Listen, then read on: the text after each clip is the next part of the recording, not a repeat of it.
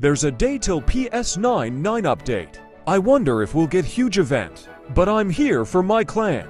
So, are you in a Pet Sim 99 clan? Have you been itching to have a name tag underneath your character in game, but no one would invite you because you're too poor?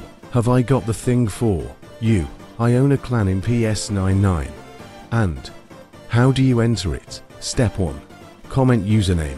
Step 2.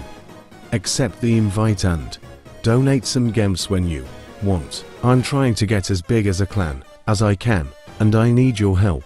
This clan is for community and not winning, so I hope you would want to join.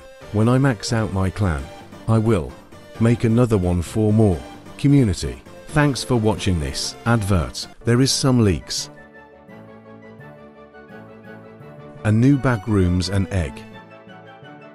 A new scribble coin. Some pets and eggs.